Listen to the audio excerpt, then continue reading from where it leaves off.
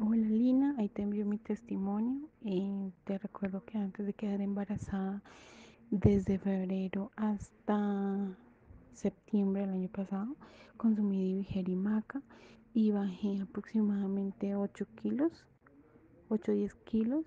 Cuando empecé mi embarazo empecé en 70 kilos y terminé el embarazo por temas de miomas.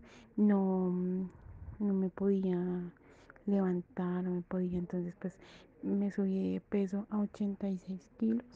Ahorita ya voy en 83 eh, kilos menos. Eh, y eh, pues ese es mi testimonio.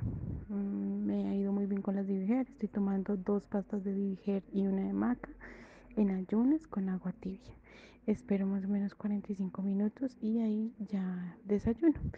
Como te digo, no puedo hacer dieta por el tema de que estoy lactando a mi bebé, entonces estoy comiendo normal. Eh, ahí te envío mi testimonio, espero que les sirva para las mamitas que te consultan y gracias por tu asesoría.